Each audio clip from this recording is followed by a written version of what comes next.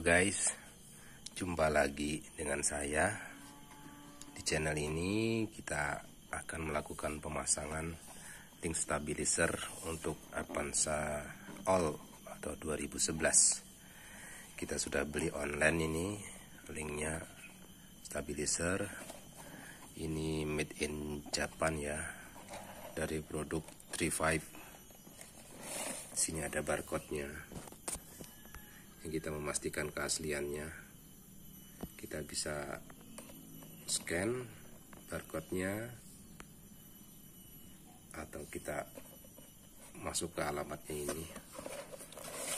Ini dalam satu kotak ini ada dua ya guys. Ada dua list stabilizer untuk kanan kiri. Produk 55 35 coba kita buka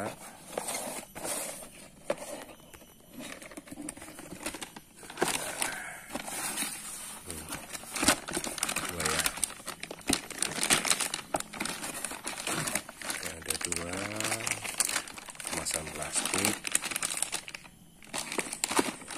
Ini coba kita lihat kualitas bahannya. Kokoh guys. Berat dan lebih kokoh dibanding merek yang biasa tersebut.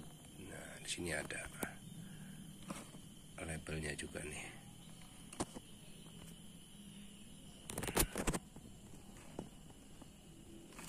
nanti kita coba lakukan pemasangan.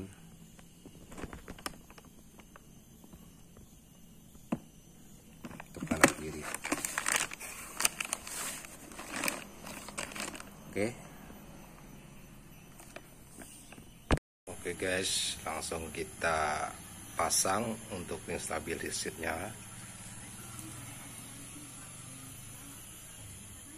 ledakannya kita lepas bannya ya guys kita dongkrak lalu kita lepas. Agar lebih mudah untuk memasang. Oke guys setelah kita lepas bannya jangan lupa kita taruh di sini. Untuk antisipasi jangan lupa juga pasang ganjal ya.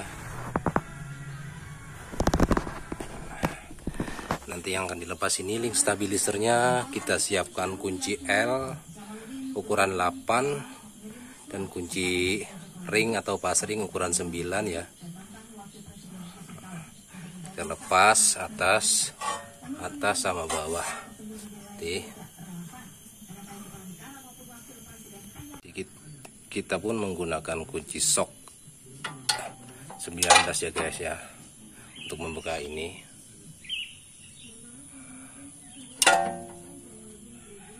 setelah kita kendorin sama kunci sok kemudian kita memakai kunci L8 kita masukkan sini. Kemudian kita lepas dengan kunci pas ini. Jadi jadi kunci L ini untuk menahan biar tinggal ikut muter saat kita melepas umur 19 ini ya guys ya. Coba kita lepas ya.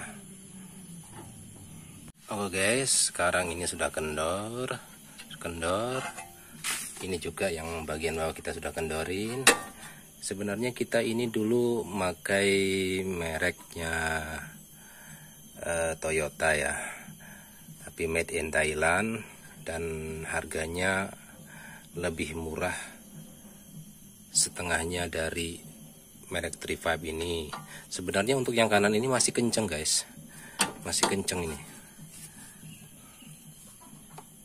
Cuma yang sebelah kiri itu sudah kendor. Coba kita lepas dulu ya. Oh setelah kita lepas ternyata oblak juga guys. Nah ini pemakaian kurang lebih 2 tahun ya. Lumayan lah. Dengan harga lebih murah setengahnya. Kalau yang bagian atas ini masih sepan masih kenceng yang ini sudah sudah oblak ini. Ya dengan kualitas dan harga segitu lumayan lah dua tahun. Jadi kita nanti mau ganti pasang yang ini. Nah samakan barangnya guys ya. Ukuran yang sama tapi ini lebih ringan dan ini lebih berat ini. Kita pasang coba kita pasang ya.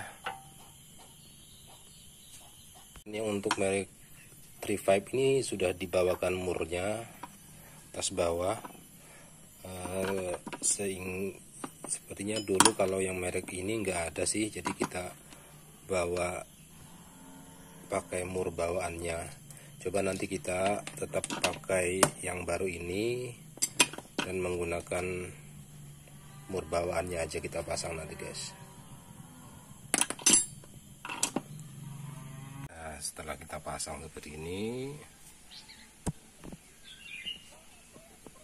atas bawahnya sudah masuk masuk untuk kita kencangi ya.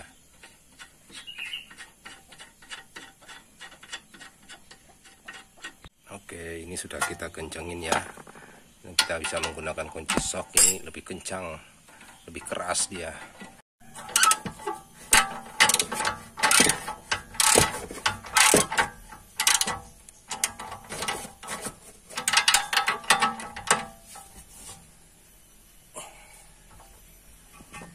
tapi untuk yang bagian dalam kita menggunakan kunci pas.